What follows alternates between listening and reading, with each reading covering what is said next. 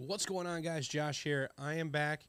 I got a video for you, and this is a new series, and it's something that I've wanted to start for a while, and I just wasn't quite sure how to do it, but now I know, and I'm going to start it. Now, before we get into this one, I'm going to let you know that I'm working through a little bit of a head cold, so uh, there may be some breaks and pauses and stuff where I got a cough, but what I'm going to do is I'm going to go through this, and I'm going to start looking at your photos and figuring out tips and tricks on helping you become a better photographer.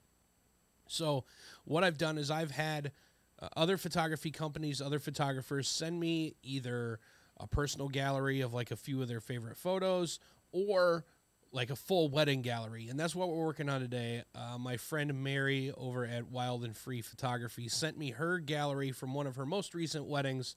And I'm going to kind of just quickly go through it I'm not going to like pick apart every single photo because a lot of it doesn't need to be picked apart. Now I have went through and kind of pre-selected a couple to show you how I'd edit them, but for the most part we're just going to kind of get down to the nitty-gritty and I'm going to talk to you overall about how I feel your photos look and what I personally feel could be better, could be uh, worse, what you've done good. This is not just going to be a me picking apart your photos the whole time.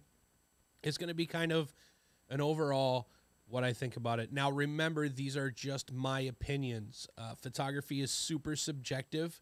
It all depends on what you want your photo to look like. Uh, your style is your style, so don't take anything that I say too serious, I guess you could say. I don't want to offend anybody just because my style of photography is different than yours. So basically, what I'm doing in these is I am going to kind of make them look Joshy, I guess you could say.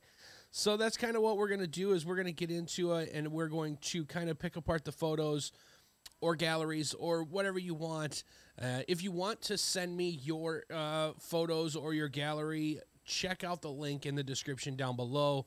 Uh, is my email, and that's how you can send it to me. So let's get into this. Also, I'm going to leave uh, the photographer's information as well down in the description. Go give them a like on their social media it takes a lot of balls to send your stuff in and say, hey, can you kind of pick my stuff apart?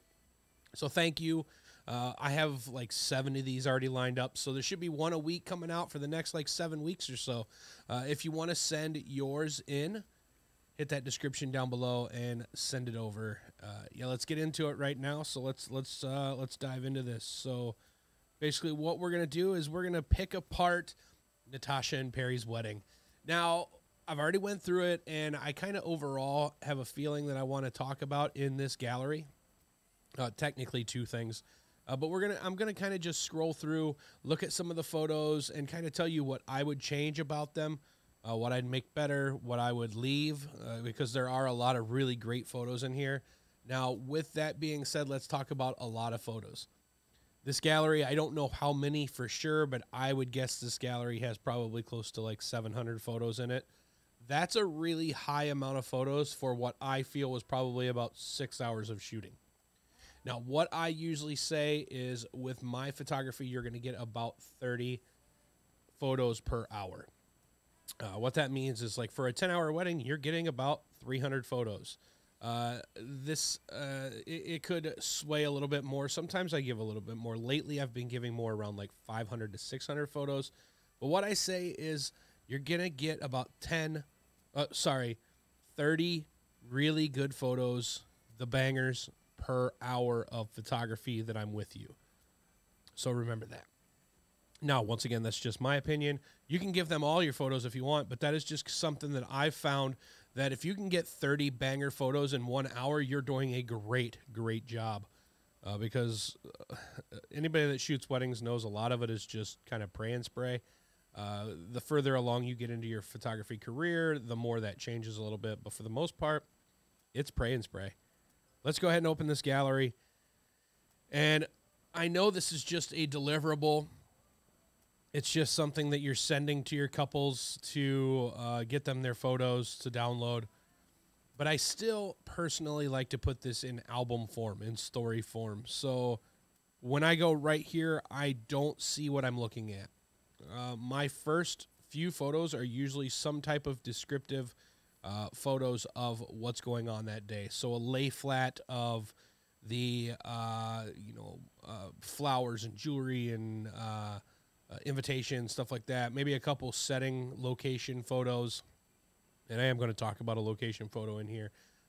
But that is one thing that I usually try to think about is even when they're going to this, they're still going to want to see that story, even though it's just a download. Like to be able to read through this story as it happened is going to help them relive the moments.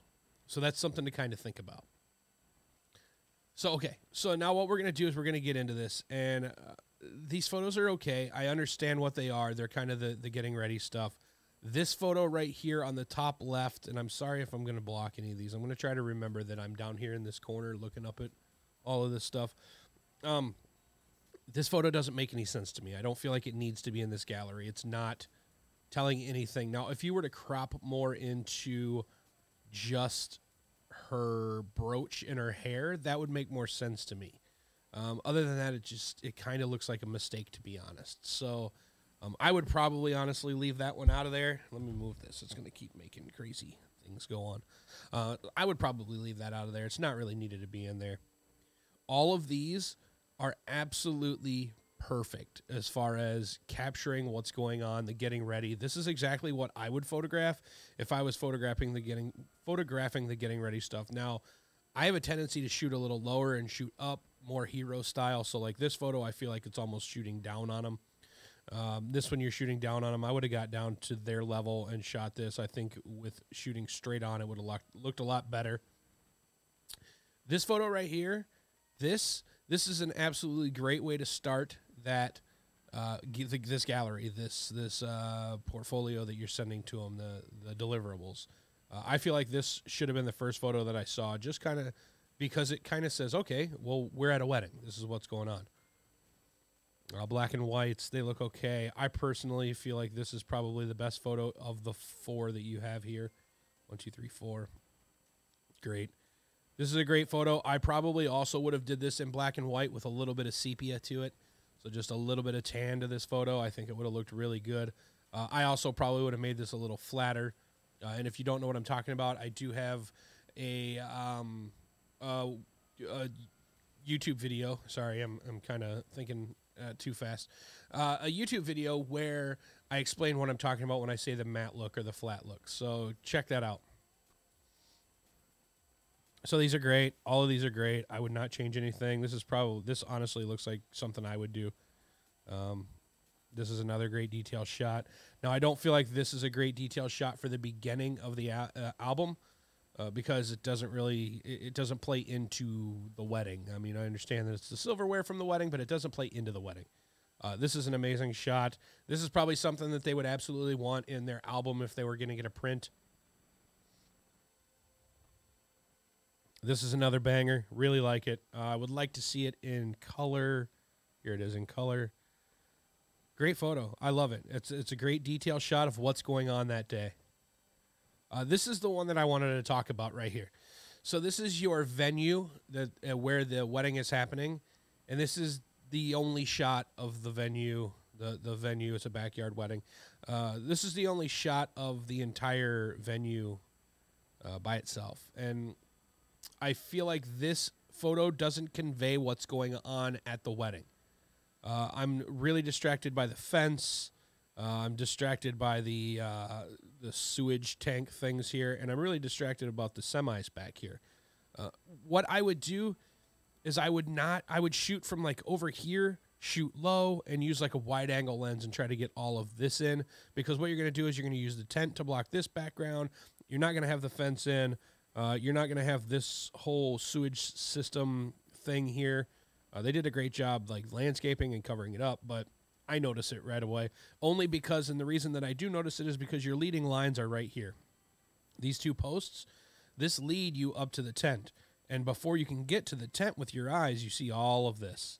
It also looks like it might have been raining. That may maybe you're shooting under an awning or something like that. So I kind of understand what's going on, but this is the only shot of the venue, and I feel like you could have shot more angles. Uh, there's no shots that I saw of the like the arbor, the arch. There are shots during the ceremony, but I don't see this is. I'm missing the creativity in that photo, if that makes sense. These are great. These, both of these, love them. Love this. Slightly out of focus. Looks like it focused on the hair uh, and not so much here. So I would have went manual focus with this one. Uh, maybe even step back and uh, cropped in later. A little hot over here as far as exposure. A little hot in the shoulder. This is a great shot. Love this one. Let's get on past this a little bit. Uh, getting ready stuff. It all looks good. Uh, gentlemen getting ready. Flowers. This is another detail shot I probably would have put at the beginning. Great photo. Uh, let's get on down. I'm guessing dad getting ready. Groomsman groom. So this is bride putting grooms. So they did do a first look, I'm assuming. Um, I don't see like an official like first look. Um, so I don't know if they did like an official first look. I would have definitely made them do one, even if they didn't want to. To be honest, um, this kind of looks like a first look, but at the same time, it's just getting the flower on uh, because he hasn't seen bride in uh, in her outfit yet. He hasn't seen Natasha in her outfit, so he needs to see this this this wedding dress. More getting ready stuff. It all looks good. I love this. The armpit shot. I have so many of those now. I usually don't leave them in the. I understand this isn't a public gallery, but uh, yeah, I usually take them out of there and put them in their USB drive. So now we're getting into the groomsmen photos. This is something that I wanted to talk about here. This is like a, a pretty big, um, I guess, no no in my book. Um, this one looks okay. What I always try to do is I always try to have the groomsmen face your groom. So, with this being your groom here in the center, I would take these three gentlemen and turn turn them a quarter towards him. These two would turn a quarter that way towards them. That way, they are all what I call V up. So if you look at it, uh, they're going to make a V with their bodies, and it's going to kind of be like shoulder and shoulder, and the back shoulders are going to kind of touch each other. Now with this one, I would keep Groom, I would keep uh, what's his name Perry in the center, and I would turn the groomsman to kind of V up minus the center of it, which wouldn't be a V. All right, let's get back into it. I had a visitor, so I had to kind of pause there for a second. Let me get right back into it. Let's see where we're at here. Uh, we are at the wedding party photo. So, like I said, I would totally have them uh, V up towards our groom here. Now, this is the one that I really wanted to talk about. When you have shoulders interlacing like this, see what it does to the coat. It just makes it look awkward. Uh, it wrinkles in weird spots, like here towards the center. Uh, it bunches up. It causes wrinkles it's just not a very flattering photo. I always, always, always try to stay away from this shot. Uh, also, you got to watch for floating hands when people do this. Uh, this hand is coming out of nowhere. Um, these fingers are just randomly floating. So when you let people, there's another set of fingers right here. There's a hand. There's another set of fingers. I think right there. It looks like it's slightly out of focus. Um, that's a problem. You you don't want floating fingers, you don't want floating hands, and you don't want bunched up shirts. So no matter how much your and it's typically the groom, how much your groom wants to put their arms around people, parents, grandparents, stuff like that, let him do it, and then tell them, okay, let's get into a photo pose here. Let's get into something a little more uh, straightforward, and just explain it to them. Just be like, uh, the way that you're standing right now makes your makes your your suit look weird you know, if, if you're honest with them and make a joke out of it, they're usually like, oh, okay. Uh, I had a groom a couple weddings ago that literally every time someone got up to him, his arms went around him. And by the end of it, I was like, bro, what are you doing? You're killing me. Like, get out of that pose. And he'd be like, oh, I'm sorry, I'm sorry, I'm sorry. And, and it kind of became a joke by the end of the, the wedding party photos. It became a joke, or the the formal photos. It became a joke that like, like, dude, come on and he'd start laughing. It, it becomes kind of a joke, so you can make it fun. You don't have to just be a dick about it. You can you can make it fun, but just let them know that it makes their outfit look weird, and you don't want weird. Okay, so let's go on down. Uh, these are all these are all fine. I would v up just a little bit more, So where I'd have their shoulders t- kind of turn just a little bit towards each other. These are all great. Uh, bring these two together. They look like they uh, don't want to actually be next to each other. This is good. Just V them up a little bit. If you would turn their bodies just a little bit, fix homeboy's tie right here. Uh, if you bring them up, V them up just a little bit, it just make it that much better of a photo because you're going to kind of see more of a profile shot instead of just a straight on. Okay. So these photos right here, I love all all of these truck photos. I absolutely love. I did pull one of them out. I pulled uh, this one right here out, and we're gonna. I'm gonna show you kind of how I would edit this photo and what I would do to it.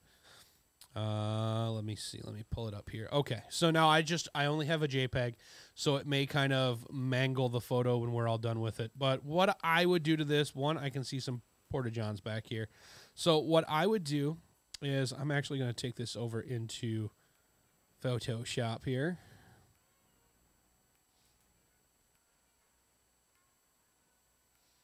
And the reason that I want to do something to this photo is because it's a great photo and it would be even better for um, doing some some artsy fartsy stuff to it. So once this opens up, I will get into that.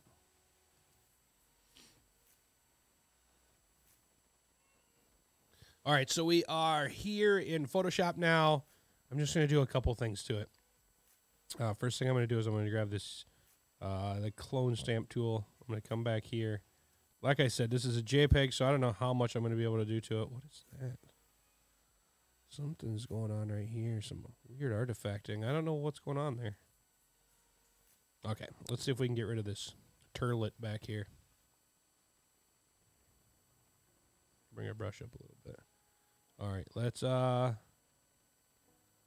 let's grab some trees, kind of just start hiding these boys back here.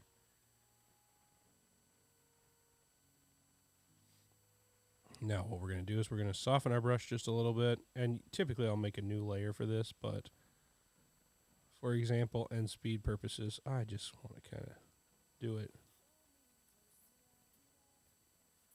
Yeah, we're going to grab the grass here bring this in. And grab some more bushes. Grab a little bit different of trees just for some difference here.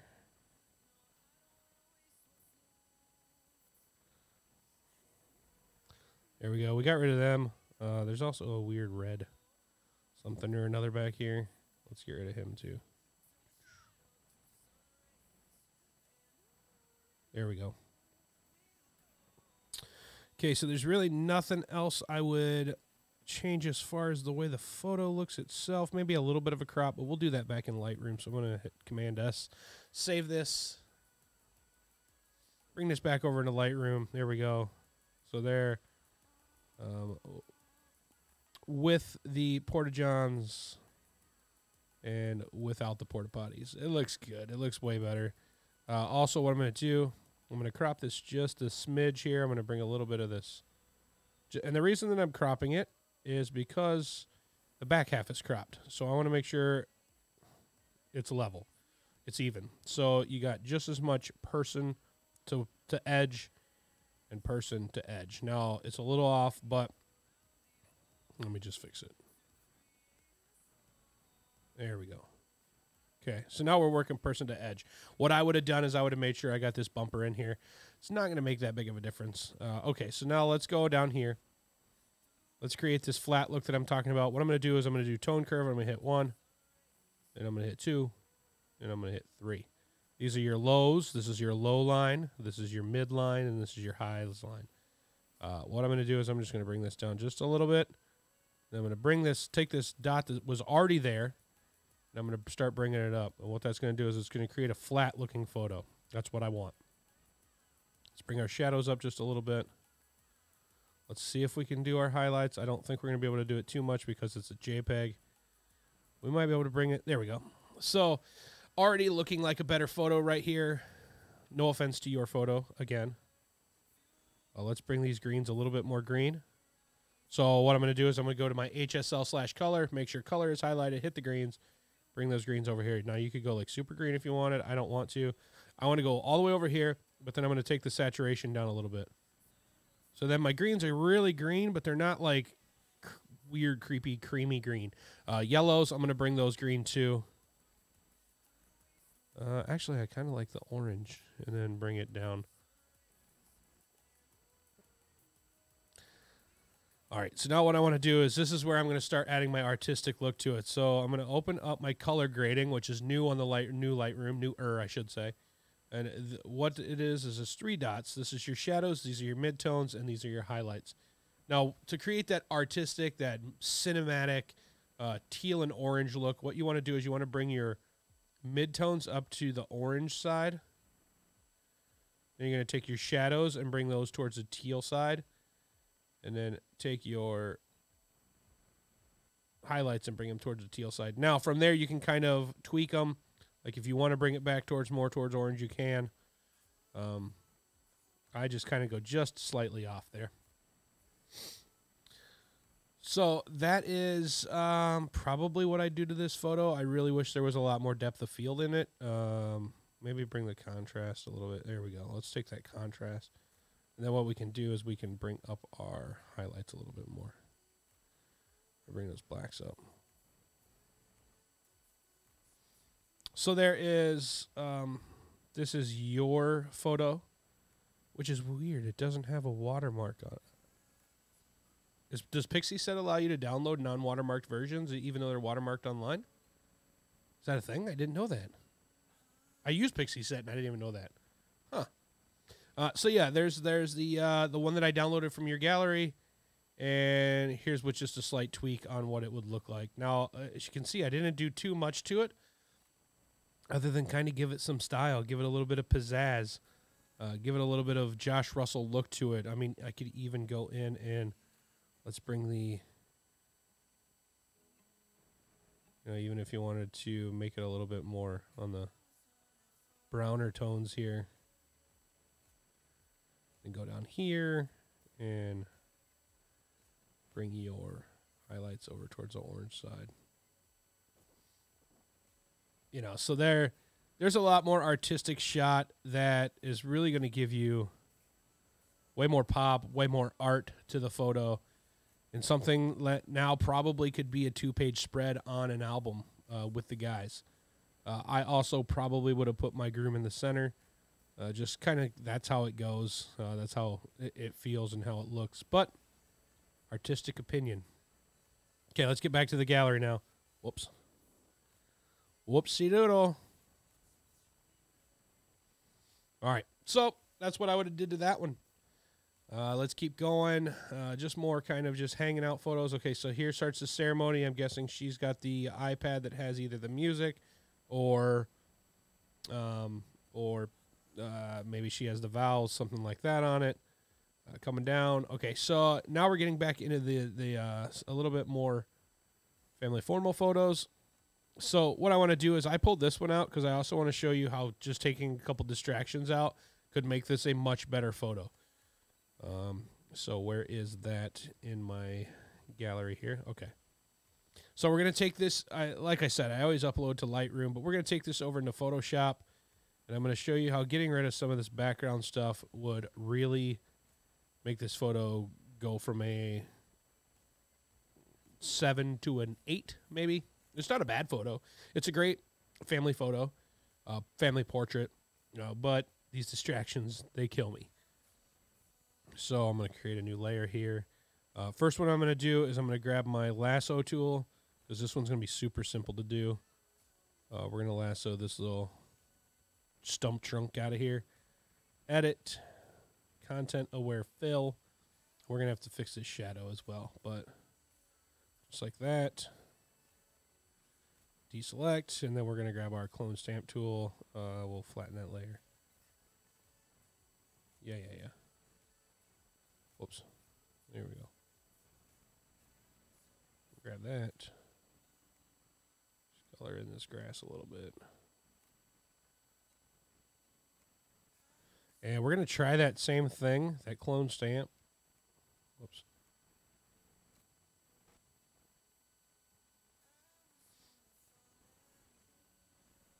We're going to try that same clone stamp idea over here, but I don't know if it's going to work.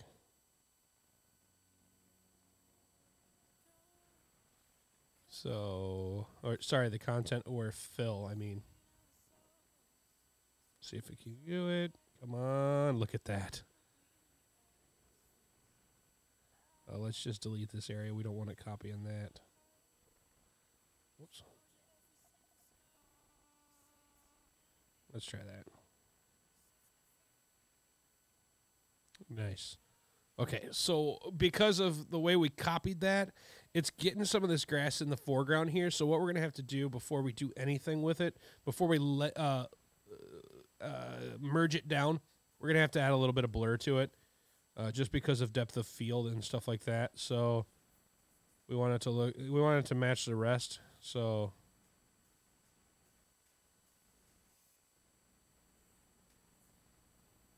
now let me see if there's another better way than that. Isn't there a blur? Um, lens blur is that what it is? Surface blur. Let me see if lens blur is what I want. Um, yeah, that might be it. There we go. But then what we're gonna do is we're gonna take it and add a mask to it. And yep. So nope, that's not the right way we want to do it. I was right the first time. Blur, blur, Gaussian blur, and then just a just a smidgy smidge. There we go. Okay, so now we got to touch up this edge here. And we're just going to grab our clone stamp, uh, lo- lower that level, or merge that level, I should say. We're just going to kind of get in here, nice and close to the arm, without touching the arm. Oh, touch the arm there.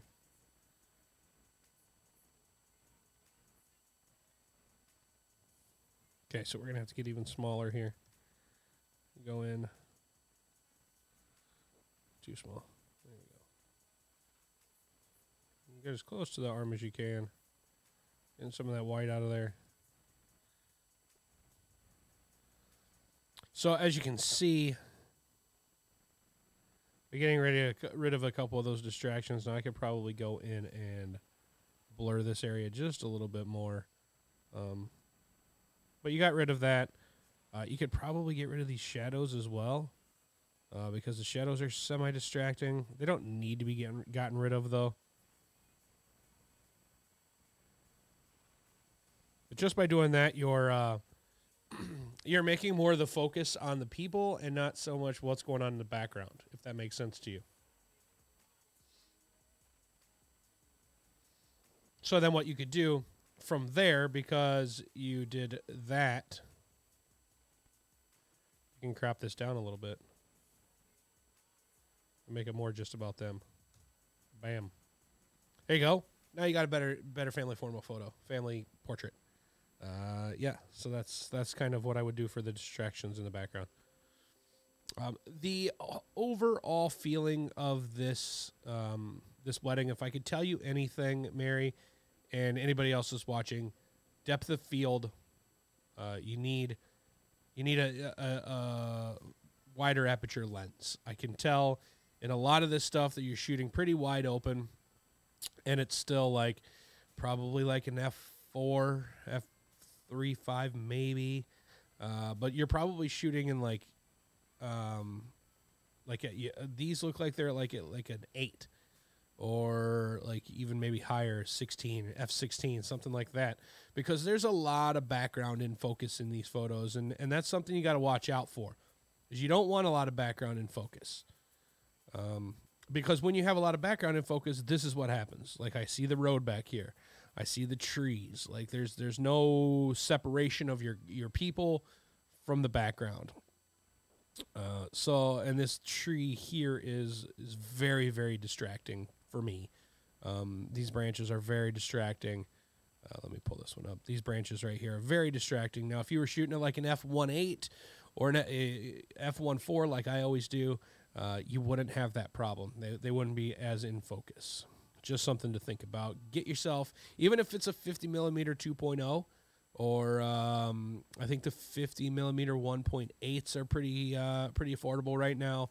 I mean, uh, don't get me wrong, I think they're like five or six hundred bucks, but that if you're charging the right amount for what you should be for your weddings, that's an investment that you should be making it. So, uh, as long as you're not bottom feeding yourself and, and undercharging. Uh, there was another photo here that I pulled out of here because I wanted to talk about. Where are you? Whale? No, I can't find it. Is it this one? Nope. Is it this group here? Okay, so it's this photo right here, which I'm going to work on that photo. These are all fantastic. Absolutely fantastic. I love every one of these. Um, I, I just think I think they look great. So yeah, I, I these are great. I love these photos. Um, this one right here. So what I wanted to talk about is the fact that this lady right here on the right, on her left, is really dark in this shadow here, uh, and then she's kind of overexposed. So let's talk about how we can fix that. What you can do is there's a couple different ways to do this. Uh, one, you can first pull your shadows up and see what that does to your photo, and then bring your highlights down. Once again, I, am working on the JPEG, so it might not do exactly what I want it to. Um, so you can see that kind of fixed it. But what you can do uh, is what you can actually use your brush in Lightroom. Let's brush this lady's face in right here. Just kind of like that. That's all you really need to do. And then take your shadows and start pulling them up. And what that's going to do is it's going to lighten her up. But all it's going to lighten up is the area that you brush. Now, if you want to add another one, just go here, go brush, then we're going to make this one a little smaller. We're going to paint on the side of Our Lady's face here, our bride. And we're going to bring the highlights down on that one. Now, if I had a raw, it would be much better. It's kind of muddying up the photo, but you can just see right from there that like all I did was just kind of brighten it up and you can see both of their faces a lot better. It's still we're we're uh, dealing with this distracting background, but that's uh, that's something we've already talked about. Okay, back to the gallery. I'm going to kind of just kind of buzz through this. I want to try to get through these here. Um, uh, like I said, great photos overall. They look great. They're great wedding party photos or, or wedding event photos. The only thing that I would change is the depth of field. I think if you were shooting with a, wider depth of field, like a one eight or a one two, or sorry, one four or a one two, um, you'd have a lot more separation from this background. It'd make them stand out a little bit better, and it would just make it look a little bit more professional. Other than that, these photos are are fantastic. This is a great wedding, uh, like uh, candid wedding photography photos. Um, there's really nothing more that I would kind of say about them other than this arbor is this would drive me insane. This would drive my OCD insane because like if you look at your horizon, which your horizon is level on a lot of your photos, and I want to thank you for that. I cannot stand Dutch angle photos where the horizon is sideways. It just doesn't have a time and place anywhere. Um, level horizons, but this is something else. Um, Great, great photos, great. They look good.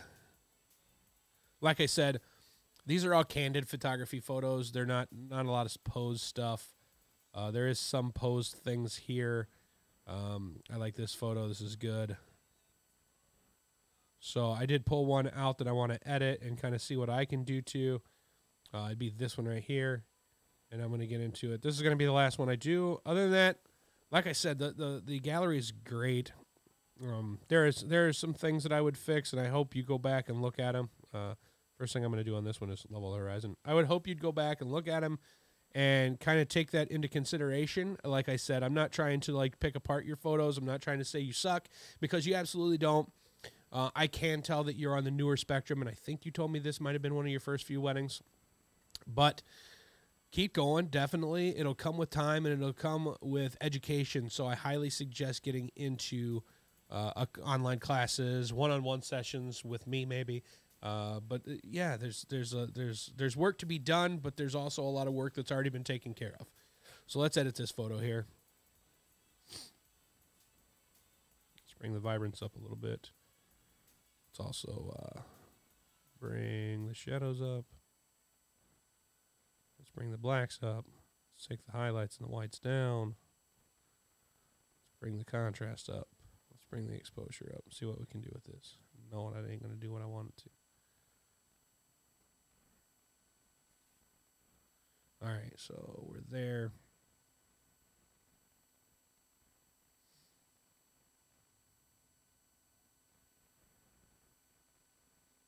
Uh, same way we did the other one. Let's take this, bring it here, bring the saturation down, bring this this way, bring the saturation down.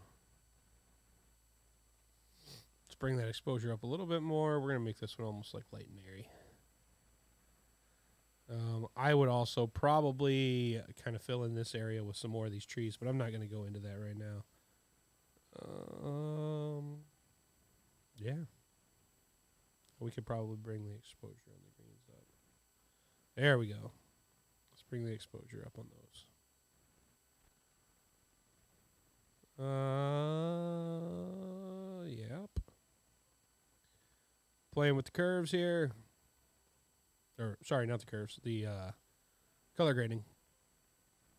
Look at that. Just a few simple clicks. Now, I'm, like I said, JPEG, working with what I got. Uh, but I mean, it's a nice little artistic photo right there that would look good with the rest of the gallery.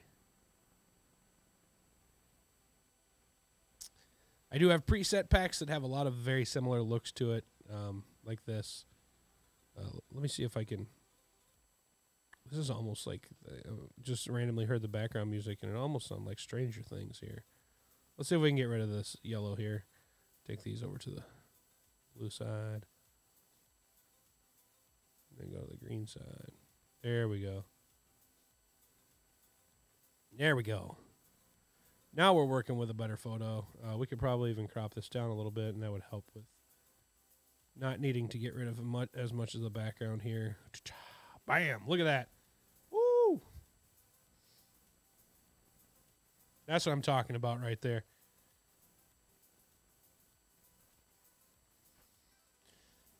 So there you have it. We went through this gallery for wild and free photography. Uh, thank you so much, Mary, for sending me your gallery. I hope this helped you. I know this is kind of a long video. I hope you sit down and you watch it. I have many more of these coming. Uh, overall, like I said, Mary, uh, think about getting a better lens, something that's a little deeper in the depth of field. Maybe work on your compositions a little bit more. Uh, lead, remember your leading lines, stuff like that. And what I also try to tell everybody is make sure every one of your photos has an intention. Uh, that's that's a, a, very important part of photography. Is making sure that every one of your photos is taken for a reason and not just kind of pray and spraying. Think about every shot you take and where would it line up in an album? Where would it line up if you were uh, putting together like a physical photo album? Like if you had to add every single one of your photos to a photo album, where would it fit? And if it doesn't fit in the story, don't take it. Uh, or don't include it, I should say. You can take it, but don't include it unless it fits somewhere in a story.